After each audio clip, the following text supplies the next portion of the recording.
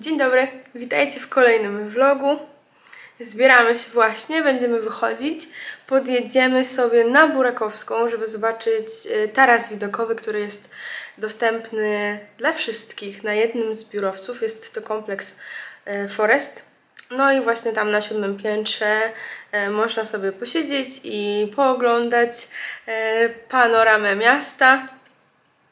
Jestem ciekawa, jak to będzie wyglądało na żywo, tak jak już tam pojedziemy, tym bardziej, że ta złota polska jesień już trochę przemija, te liście już troszeczkę spadają.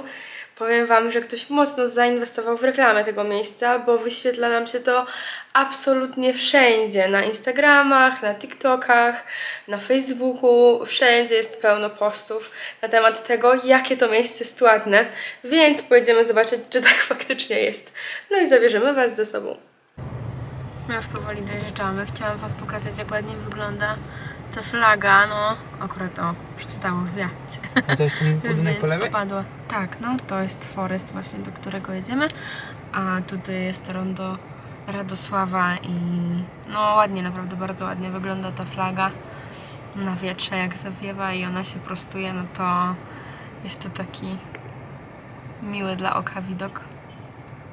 Mogłaby się rozłożyć, żebym mogła Wam to pokazać, ale chyba nie tym razem. Może później. O, a tam widać właśnie taras i widzę nawet, że jacyś ludzie tam są. Yy, faktycznie jest to o tyle spoko, że nie jest to teraz tylko jakby dla pracowników tego biurowca, tylko taki ogólnodostępny. Można tam po prostu sobie wejść i poczy- pochillować. Oczywiście na dole jest yy, Starbunio, także jak ktoś by chciał być taki Fancy szmensy. Fancy szmensy, tak. Brakowało mi słowa, dziękuję Andrzeju. To można wziąć kawkę i z kubeczkiem potem chillować na górze. Widzę, że jest tam sporo dzieci, ale tam są chyba też takie lunetki w ogóle, żeby obserwować sobie Warszawę. Tak mi się coś kojarzy, nie będę przybliżać, bo nie ma to sensu, za chwilę tam będziemy, ale kurde jestem w szoku, bo w sumie chyba nie sądziłam, że, że w niedzielę w ogóle coś tu będzie się działo, a widzę, że sporo osób tam łazi po tym tarasie. No. Także czekamy na zielone. Może tym razem uda nam już się przyjechać i zaraz pewnie spotkamy się już na miejscu. No i udało nam się nawet zaparkować. Za mną Arkadia. O, tutaj się kryje flaga, widać ją teraz? Chyba trochę tak. Jak się prostuje, to naprawdę wygląda ekstra. No a my teraz w takim razie idziemy w stronę mm, ulicy Burakowskiej dlatego że właśnie z tamtej strony jest y, wejście na ten taras, który jest na górze. W ogóle bardzo ładnie to wszystko tutaj wygląda. Zaraz Wam pokażę. Jeszcze przed tym, y, przed tą Burakowską, tutaj zaraz między y, tymi budynkami, a w zasadzie to jest cały czas chyba jeden budynek, ale kryje się tutaj taki, takie ładne patio, więc zaraz Wam to pokażemy. Tutaj jest takie ładne patio, słońce mi się odbija. Mam nadzieję, że coś widać. Całkiem ładnie to wygląda, ale żeby wejść na taras tak czy siak musimy dojść do tej Burakowskiej, więc nie będę tu wchodzić w głąb. Ale fajnie to wygląda. Andrzejku, pięknie wyglądasz. Przystojniaczek. I powiem wam, że nawet mi się tu podoba. Ładnie to wygląda. Jak się tak y, jedzie, to z, z ulicy, no jakby wiecie, jest to biurowiec jak biurowiec. Ale jak tak podejść, to całkiem fajnie się to prezentuje i w sumie to się cieszę, że firma mi się tu będzie przynosić, bo całkiem przyjemna okolica to jest. O, a tam widać właśnie ten taras. Idziemy na Burak do Burakowskiej, mm, bo tam jest wejście właśnie, y, którym wpuszczani są ludzie, żeby sobie tam wjechać na górę i popatrzeć na miasto. Dotarliśmy na miejsce, słuchajcie, o tu na dole jest te patio, które pokazywałam wam z tamtej strony. Bardzo ładnie to wygląda. Ej, powiem wam, że jest tu trochę ludzi. Zaraz się pokręcimy. O, są takie fajne leżaczki, żeby pochillować. Ciekawe co tam jest, bo tam jest jakiś budyneczek. Myślałam, że ten teraz jest chyba większy. No. Znaczy on ma 400 metrów. Prawda? To jest tak całkiem sporo. No, ale tak na zdjęciach ta przestrzeń wydawała się jeszcze większa. No ale dobra, idziemy dalej. Zobaczymy, co takiego tam się kryje. Tutaj się kryją rzeczki. Może podejdę sobie tutaj, słuchajcie. I pokażę Wam tą, tą część miasta. Ale pięknie wyglądają te drzewa. Mam nadzieję, że coś tu widać, bo słońce trochę mocno świeci. Ale ta plama taka o tu, to jest właśnie plama z drzew i wygląda to bardzo ładnie. W ogóle fajnie, bo idziesz sobie tu na dachu i jest też trawka, tu jest No fajne. i to jest strawa, no to jest w ogóle ekstra. Właśnie czytałam sobie o tym e, budynku, że tutaj jest posadzonych bardzo dużo drzew, tak samo właśnie na patio, a pod patio znajduje się e, garaż, no bo biurowiec, więc jest tam aż 800 miejsc parkingowych i że właśnie to jest taki trochę ewenement, w sensie takie pokazanie, że się da zrobić parking, który jest betonową płytą, a mimo wszystko potem z wierzchu go jednak zazielenić. Bardzo ładnie to wygląda. Fajna miejscóweczka, ej serio. Będę się cieszyć, jak będę mogła tu przychodzić na przerwę w ciągu dnia. Fajno.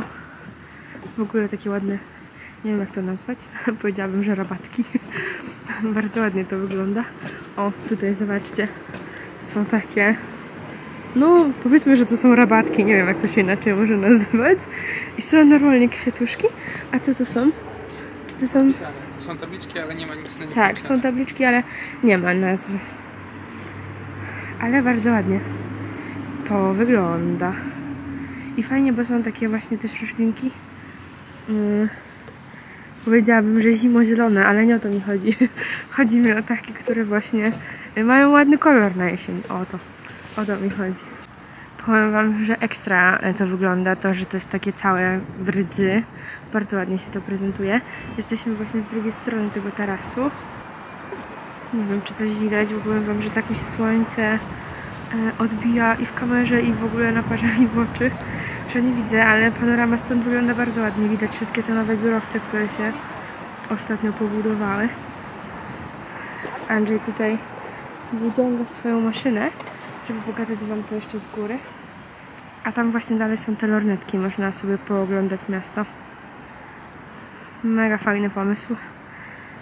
Jak tu potem będzie wolne, to też sobie strzelę taką fociuszkę. No a teraz popatrzymy z lotu ptaka.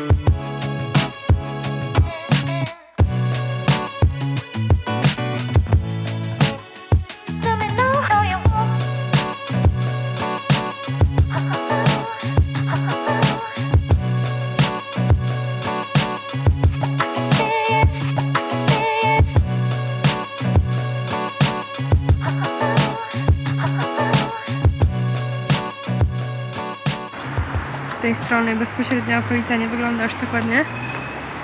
Jakieś podniszczone budynki, ale sama panorama. No i te złote łuki. Brzydko to wygląda na tle tych ładnych budynków, no ale cóż. Nie unikniemy raczej tego McDonalda. Bardzo ładnie to wygląda. Zaraz muszę zobaczyć, co takiego e, widać i jak widać przez te lornetki. Andrzej właśnie korzysta z lornetki i powiem Wam, że jak się patrzy na tą lornetkę, to wydaje się, że Pałac Kultury jest tuż obok. Ekstra to wygląda. Wszystkie te duże budynki, tak dokładnie widać. Ogólnie wszystkie budynki, ale tak popatrzeć sobie właśnie na te wieżowce z tak bliska, ekstra to wygląda. Prawda Andrzeju? No. Pokażę Wam jak to wygląda. Tutaj jest wejście, w którym się wchodzi, a tutaj przy recepcji zaraz jest winda, klikacie siódme piętro i jedziecie na teraz. Zaraz Wam pokażę y, jak wygląda to wejście, ale w zasadzie od strony burakowskiej są tylko jedne takie, czyli także łatwo będzie znaleźć. O, Tutaj macie jakiś, nie wiem, punkcik handlowy czy coś takiego. Tu jest napis Forest, a tu są właśnie takie okrągłe drzwi i tędy się wchodzi. Bardzo fajna miejscóweczka, a my teraz idziemy e, zobaczyć inny budynek, który wypatrzyliśmy z góry i prezentował się bardzo ładnie. Zaraz Wam pokażemy to miejsce. Jeszcze nie wiemy, co to, co to jest, ale zaraz dotuptamy i będziemy obczajać, co to takiego. Doszliśmy, są tu jakieś restauracje. W drugim rogu jest Deseo, czyli piękne monodeserki, ale jak ładnie w ogóle ten budynek wygląda. Ekstra przestrzeń. A tu właśnie za tą ścianą kryje się ta cukiernia. Ekstra. Super miejscóweczka. Pięknie wyglądają te czerwone liście. Chciałabym Wam pokazać ciasteczka w lepszych warunkach, ale ktoś ukradł stolik od naszych krzesełek. W sensie zabrał sobie. Ja mam ciasteczko ze słonym karmelem i orzeszkiem laskowym, a Andrzej ma coś takiego stricte czekoladowego. No. Ale wygląda śmiesznie. To jest oko. No, Halloween. Piękny dyniowy klimat. Bierzemy się za jedzenie. Jak przekroiłam to i wygląda to pięknie w środku. Andrzej, pokażesz swoje od środeczka? Taki bloczek czekoladowy, w sensie taki musik. Ale pięknie to wygląda. I jest bardzo smaczne, bo już spróbowałam. Tu byliśmy.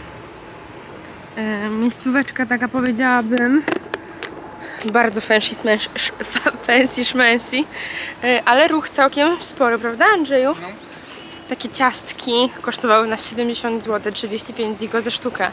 Powiedziałabym, że całkiem sporo. Ogólnie takie droższe ciasteczka jedliśmy u Ursi w Żabiej Woli i jeżeli o mnie chodzi, to w dalszym ciągu pozostaje Team Ursi. Ekler pistacjowy, bezy, makaroniki XXL. No tam próbowałam dużo więcej rzeczy.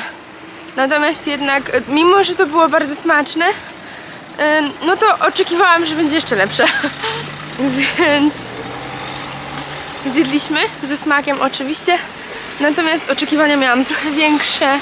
e, Jakby po tym, jak wyglądały te ciasteczka i też po tym, ile kosztowały.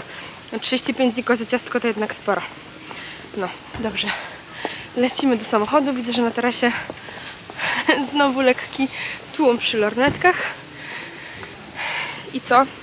I pewnie wrócimy i zabierzemy się ja za pranie, a Andrzej za robienie obiadu. Dziś na obiad będzie risotto.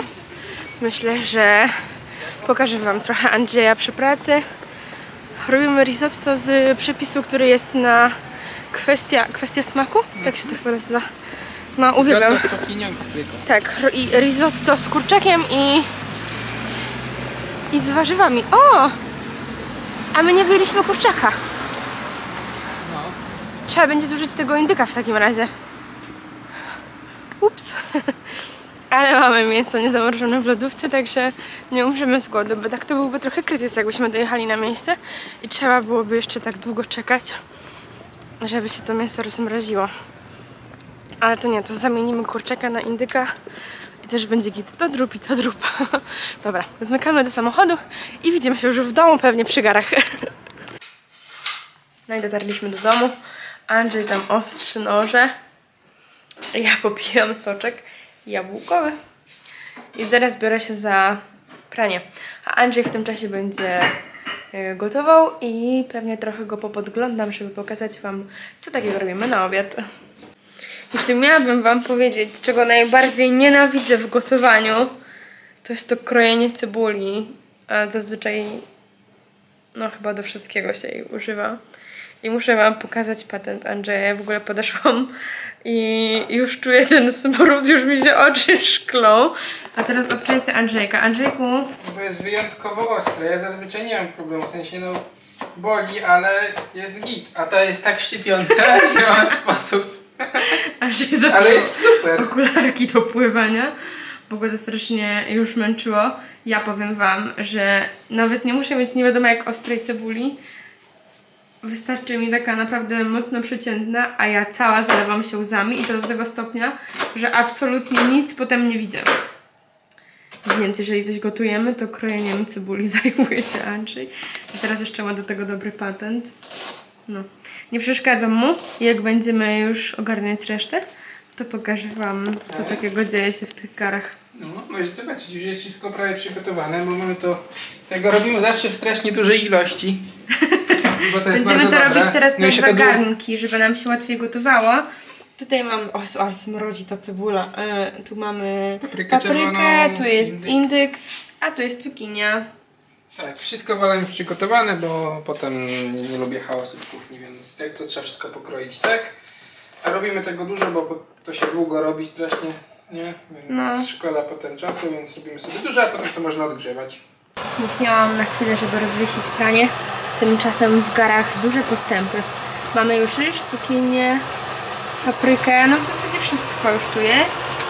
Mm, podlewałeś to już pewnie winem, tak? Tak, podlewane było białym winem, a tutaj, ponieważ jesteśmy leniwi, to gotuje się bulion z kostki.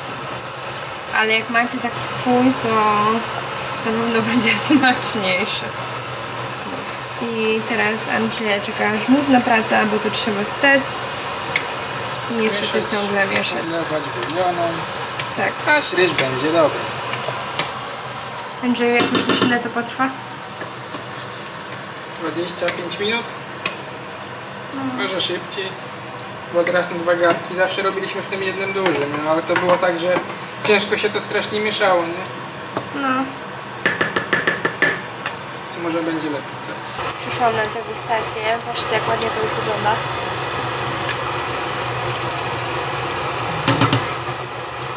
Mm, Smaku dobra, no. Ale ci ryż już gotowy. No, to jeszcze jest trochę tej wody, zanim dodamy No ale to jeszcze masło dodajesz i ser. masła i ten, no to myślę, że to już będzie git, no. Masełko się rozpuszcza, nie wiem czy na filmie to widać, ale na żywo widać, że robi się to takie właśnie bardziej no kremowe, a już w ogóle ekstra będzie jak dodamy serek. My mamy grana padano w dziurkach. A na wierzch serwujemy z rukolą. Tak. Teraz będziemy się zajadać i pewnie też Wam to pokażemy. Rukolka dorzucona. Ja sobie to jednak zawsze miącham, wtedy już nie wygląda tak estetycznie, ale potem łatwiej się je. Ale to zaraz. Andrzej już dziubie. Andrzeju smaczne? No pronto, że smacznie. To jest y, super dobry posiłek. Tak. Bo ma sosik, ma warzywka, ma mięszko. Same dobre rzeczy. My zabieramy się za oglądanie bajki, bo taki mamy trochę w sumie bajkowy weekend. Wczoraj zwierzogród, dziś zaplątani. Andrzej wcina. O, ja się tutaj tak hopsnę. Dziękujemy Wam bardzo za dzisiejszy dzień i do zobaczenia w kolejnym vlogu. Pamiętajcie tylko, żeby zostawić łapkę w górę, komentarz i subskrypcję. Do zobaczenia!